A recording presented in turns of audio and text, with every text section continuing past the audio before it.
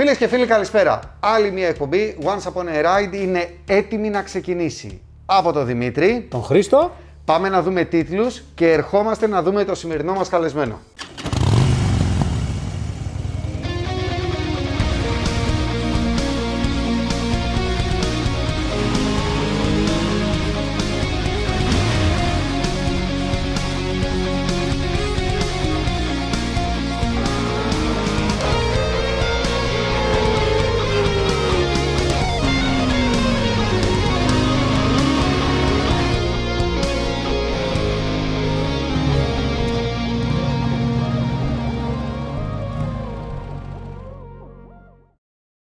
Ήρθαμε λοιπόν να ξεκινήσουμε το Once Upon a Ride και αυτήν την εβδομάδα.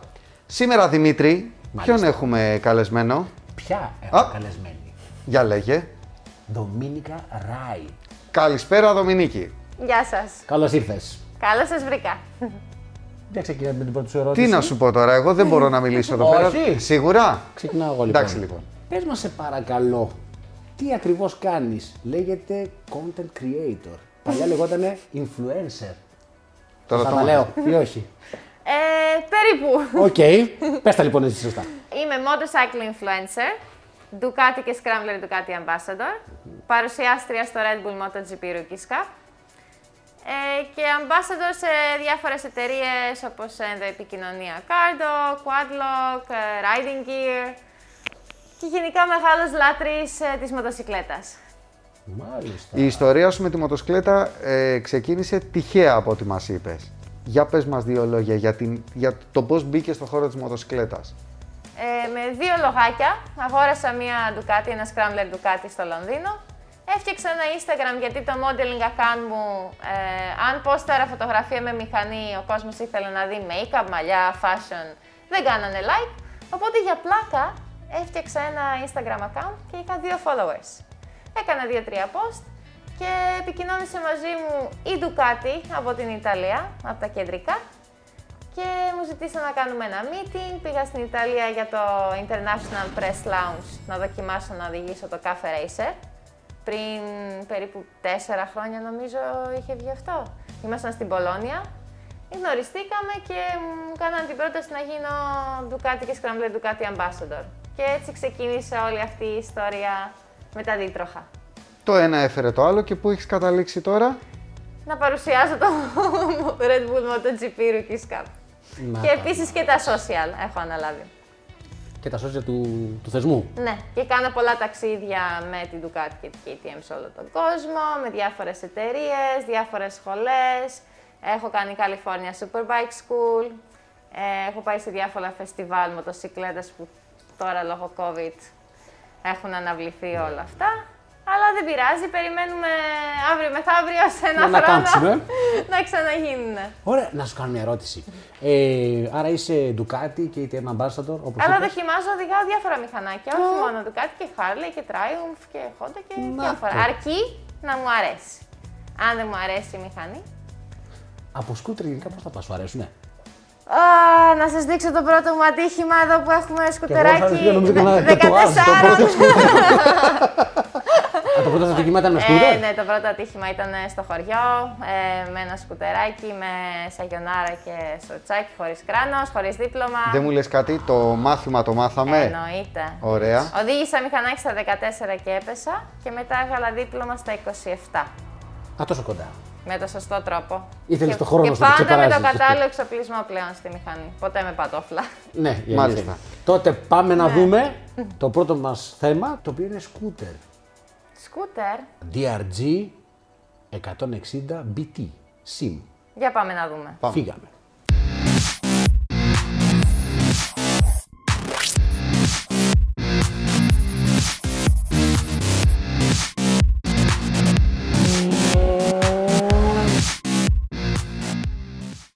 DRG 160 BT. SIM. Ένα σκούτερ από το μέλλον. Πάμε να το δούμε.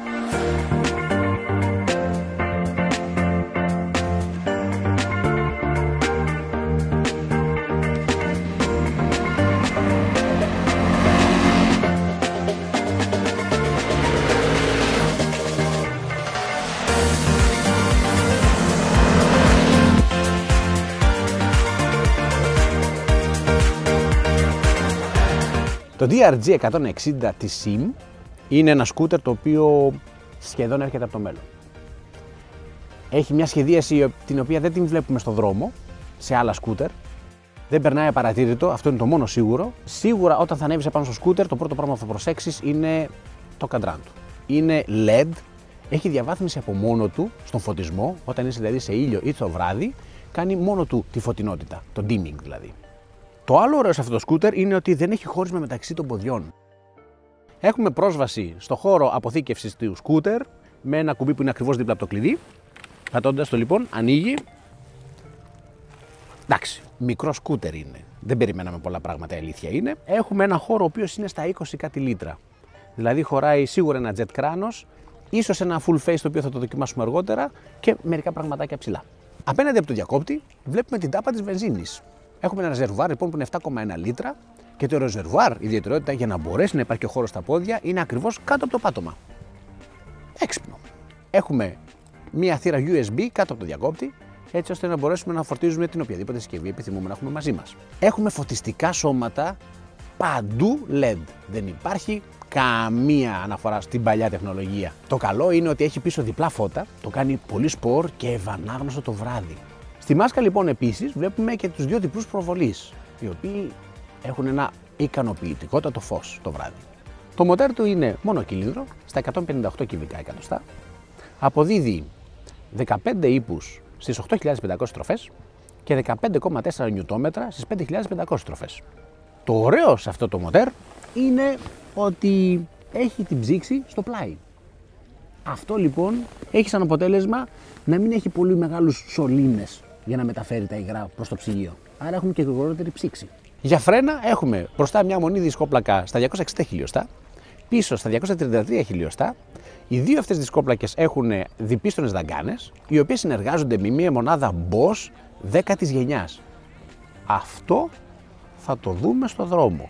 Ξέρουμε ότι αυτή η μονάδα είναι η τελευταίας γενιάς. Άρα σημαίνει ότι το ABS μπαίνει μόνο εκεί που πρέπει, χωρίς να καταλαβαίνεις τίποτα στις μανέτες. Τα γράμματα DRG είναι από τη λέξη Dragon. Ο δράκος είναι βέβαια το σήμα κατευθέν της Κίνας. Παραθέτει σε δύο πράγματα. Δύναμη και ευελιξία. Για πάμε να δούμε.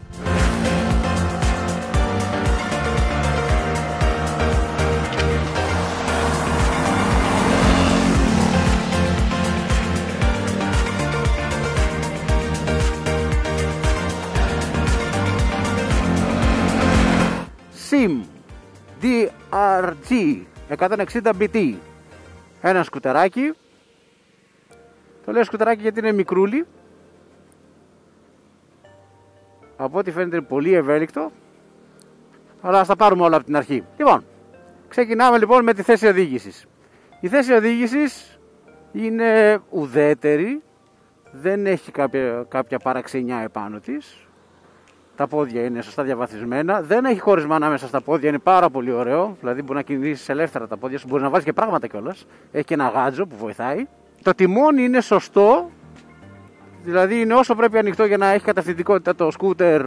Επίσης δεν είναι ούτε πολύ ψηλό ούτε πολύ χαμηλό. Είμαι στο 1,78 εγώ και η θέση του εμένα μου αρέσει πάρα πολύ. Η σέλα είναι άνετη, έχει αρκετό υλικό, έχει αρκετό φάρδος για να κάθεσαι και να καταλαβαίνεις ότι δεν προεξέχεις από τη σέλα. Όταν σταματάς το πόδι κατεβαίνει κάτω κανονικά δεν έχεις πρόβλημα, δηλαδή να χρειαστεί να σπάσεις λίγο τη λεκάνη για να μπορέσεις να φτάσεις το πόδι εύκολα κάτω.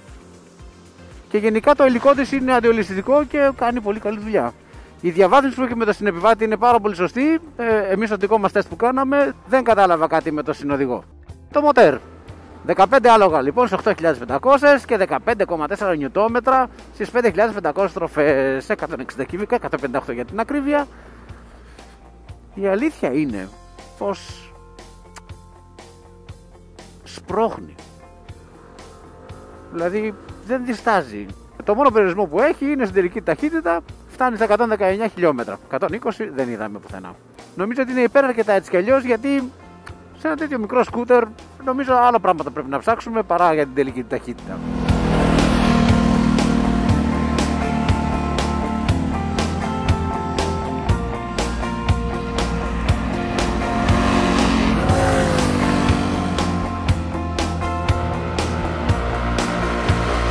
Το άλλο το οποίο είναι πάρα πολύ ωραίο πάνω στο σκούτερ είναι τα κιλά του. Είναι 132 κιλά γεμάτο, δηλαδή με όλα τα υγρά, και ε, η ευελιξία, το στήσιμο γενικά που έχει είναι πάρα πολύ καλό. Σε αυτό βοηθάνε βέβαια και οι αναρτήσεις, βοηθάει και ότι το ρεζερβουάρ είναι κάτω από τα πόδια. Άρα έχουμε ένα καλοζυγισμένο σκούτερ. Ε, αναρτήσεις λοιπόν είναι 31 χιλιοστά μπροστά, ένα απλό, ένα απλό πυρούνι. Ε, με 90 χιλιοστά διαδρομή και πίσω έχουμε ένα μορτισέρ το οποίο ε, δεν έχει ρυθμίσει παρά μόνο στο ελαττήριο, στην προφόρηση του ελαττηρίου. Και τα δύο αυτά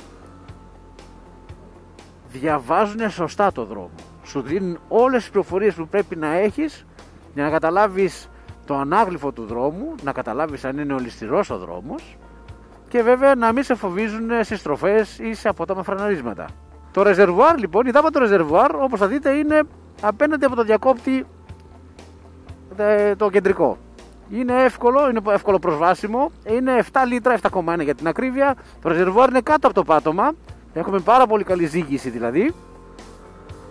Και η αλήθεια είναι ότι εμείς μας, ε, στο δικό μας τεστ έχουμε δει ότι η κατανάλωση δεν ξεπέρασε τα 3,5 λίτρα. Το εργοστάσιο δίνει 2,5 λόγω Euro 5.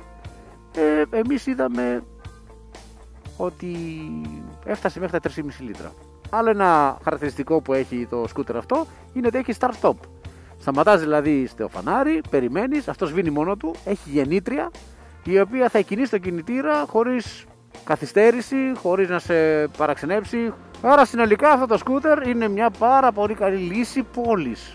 Με ευελιξία μέσα στην πόλη, γιατί αυτό χρειαζόμαστε μέσα στην πόλη.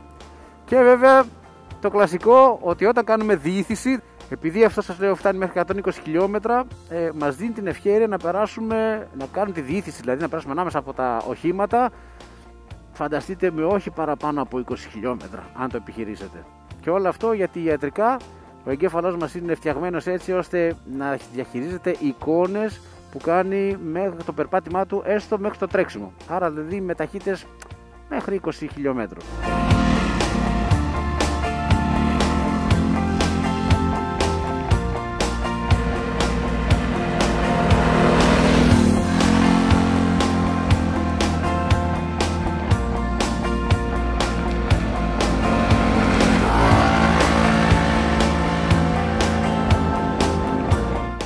Αυτός λοιπόν είναι ο μικρός δράκος της SIM, το DRG 160BT. Έρχεται σε τρεις χρωματισμούς, μαύρο, όπου έχουμε στην δοκιμή μας, λευκό και μπλε και η τιμή του είναι σε 3.195 ευρώ. Τίμιο.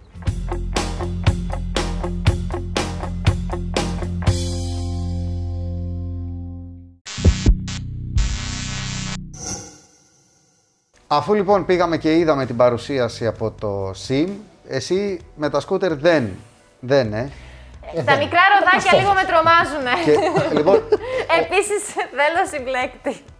Ξέρεις τι γίνεται. Όταν έχεις συνηθίσει σε μεγάλες μοτοσυκλέτες, αυτό το πράγμα το μικρό. Δεν είναι, το πιστεύει εύκολα. Είναι επικίνδυνο γιατί το παίρνεις και λίγο παραπάνω ότι έλα μωρέ, εντάξει τώρα τι να μου πει αυτό, αλλά το χιλιόμετρο το μαζεύει. Έχει και αυτά τα ροδάκια τα τόσα. Δηλαδή, εγώ με τα σκούτερ έχω μία φοβία, έχω ένα, έχω ένα άγχος, δηλαδή θέλω να είμαι λίγο πιο. Προς τι το άγχος κιόλα. Μ' αρέσει να κατεβάζω την ταχύτητα. Με τις ταχύτητες. Ναι, καταλαβαίνω, ναι. Είναι διαφορετικοί κόσμοι. Δεν υπάρχει ποδόφρενο. Οκ. ναι, δηλαδή. Πάντως δουλειά. Πατάς τι πατάς. Τίποτα, τα ψώνια που ξενάγω από τα πόδια. και, και αν έχεις αυγά, κάνεις ομελέτα. Να τα. ναι. Ε, πάμε σε ένα άλλο όμως, το οποίο ξέρουμε ότι κάνεις. Θέλω να μας πεις λοιπόν για αυτή την εμπειρία, γιατί έχεις μεγάλη εμπειρία σε αυτό. Λέγεται flat track. Ναι. OK, okay. περιέγραψε μας λίγο σε παρακαλώ, επειδή ξέρεις και κάνεις, τι είναι το flat track έτσι ώστε να το μάθει Το flat track είναι αγώνες ταχύτητας σε οβάλ χωμάτινη πίστα, με ειδικά διαμορφωμένες μηχανές, χωρίς μπροστινό φρένο, ε, ειδικά, ειδικά λάστιχα ναι. και κάποια άλλα modifications που κάνεις στις μηχανές.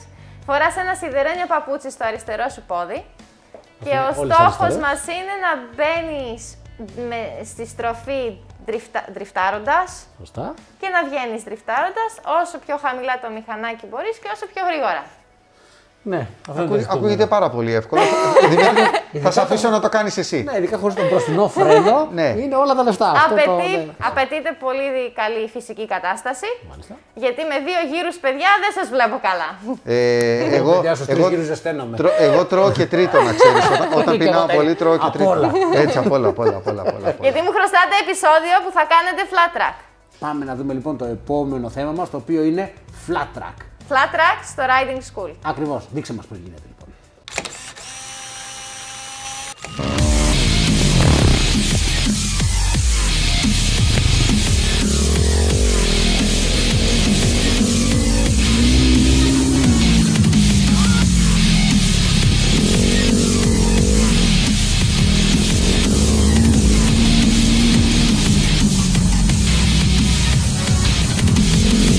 Έχουμε τη χαρά σήμερα λοιπόν να έχουμε ένα ρεπορτάζ το οποίο έχει πολύ χώμα, αδρεναλίνη, καθόλου φρένα.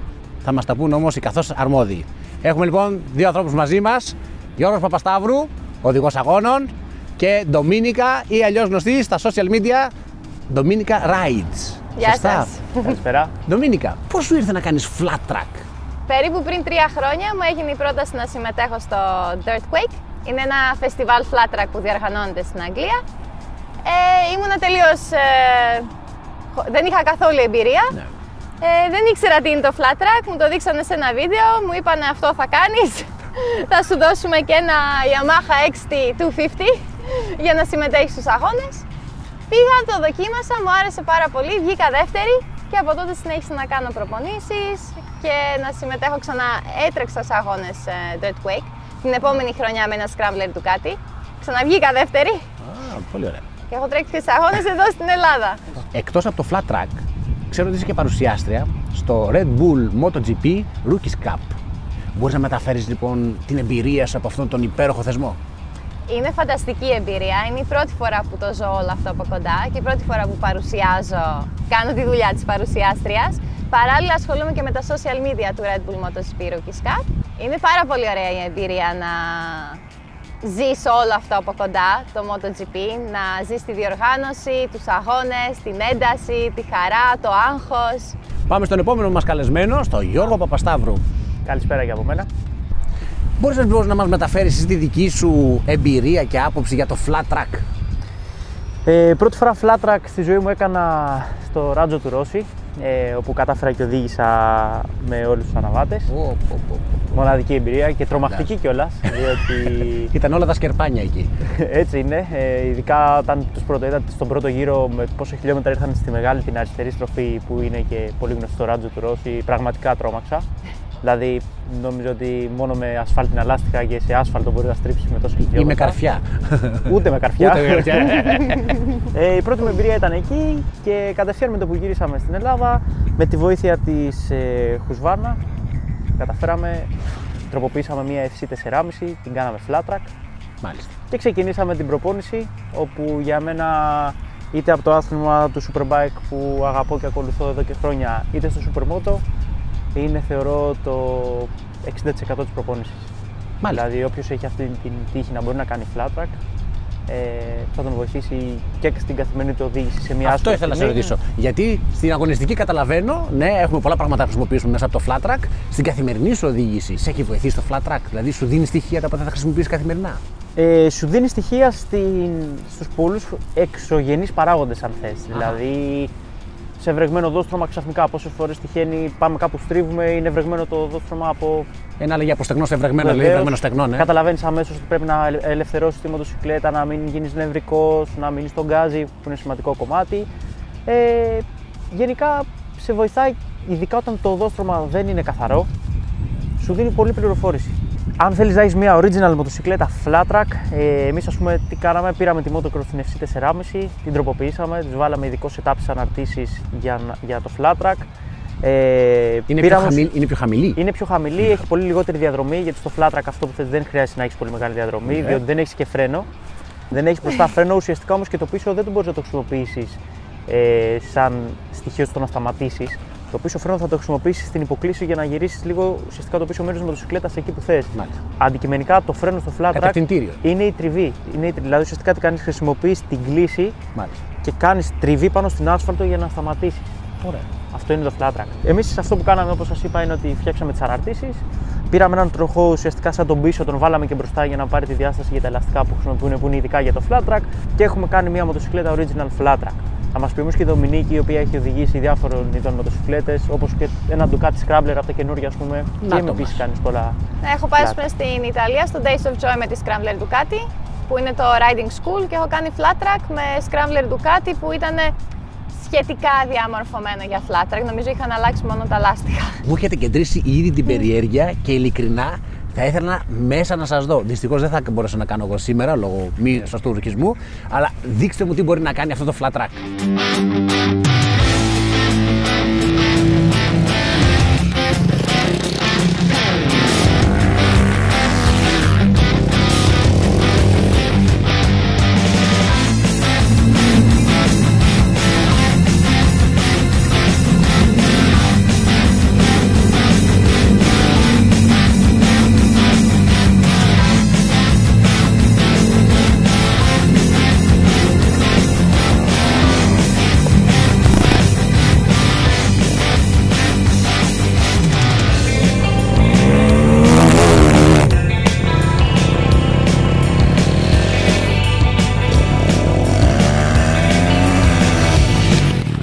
Είναι κάτι νέο για την Ελλάδα, παγκοσμίως όμως είναι πάρα πολύ διαδεδομένο.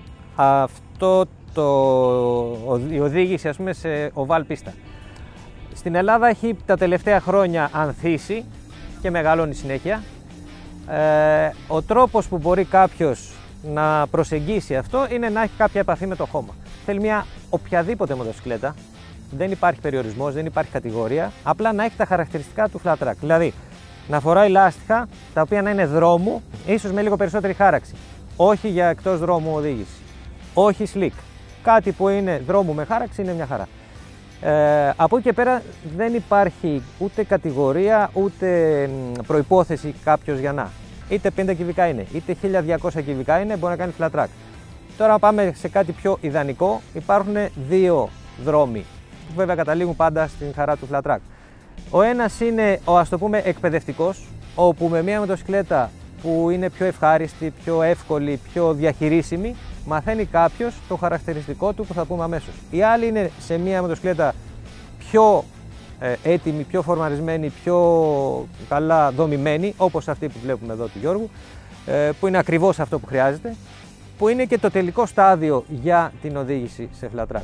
Σε αυτά τα πρώτα στάδια λοιπόν μαθαίνει κανείς την μοναδική απέτηση και προδιαγραφή που έχει η οδήγηση σε οβάλ πίστα και είναι πολύτιμη είτε κάποιος εξασκείται για να είναι ασφαλέστερος στον δρόμο και να ευχαριστηθεί είτε είναι αγωνιζόμενος σε οποιοδήποτε άθλημα.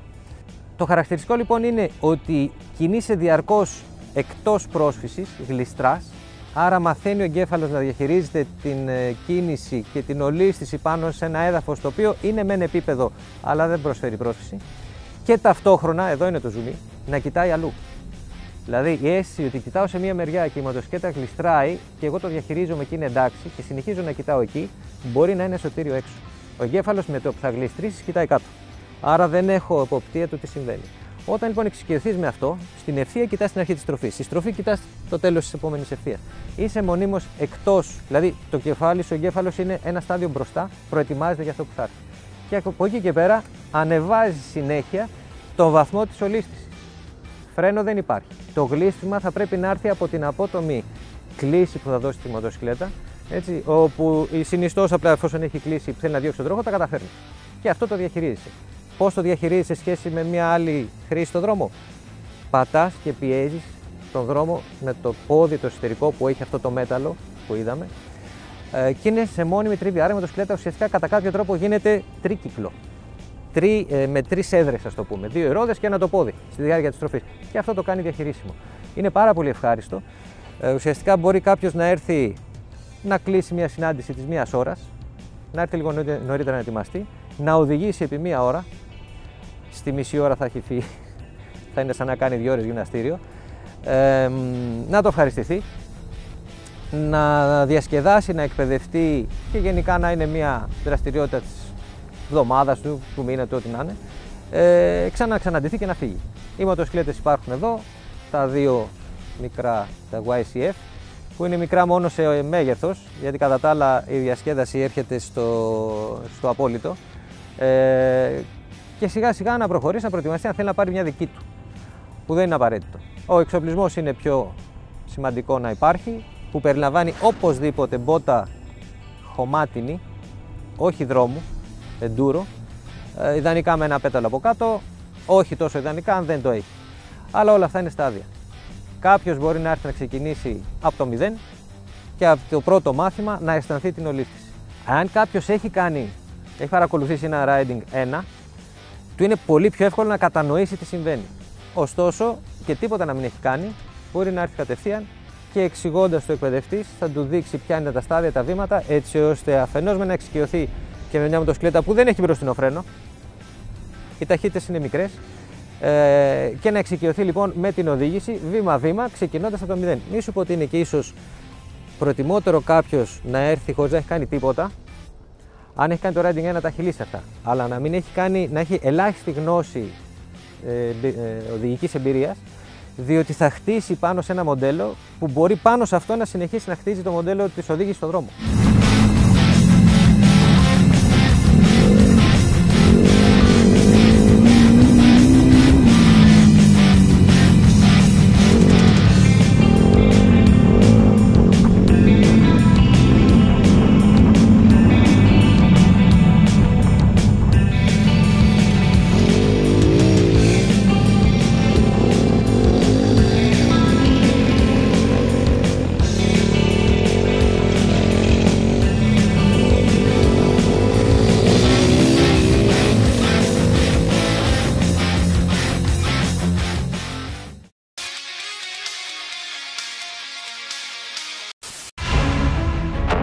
Εσύ γνωρίζεις τι είναι τα δωμάτια απόδρασης.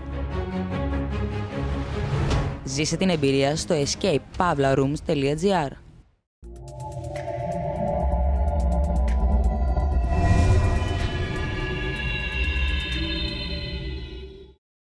Είδαμε λοιπόν τι είναι το flat track.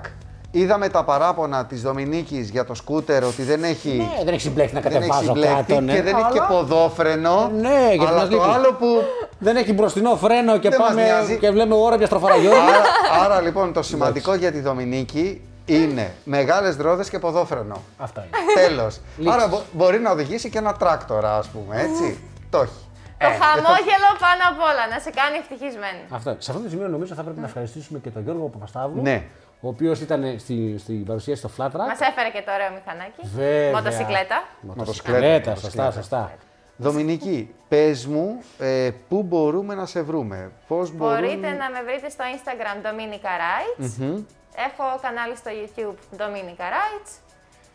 Ε, συνεργάζομαι και με το Fan Motorcycles που κάνουμε διάφορες παρουσιάσεις με καινούριες μηχανές και test rides. Και στο Red Bull MotoGP Rookies Cup.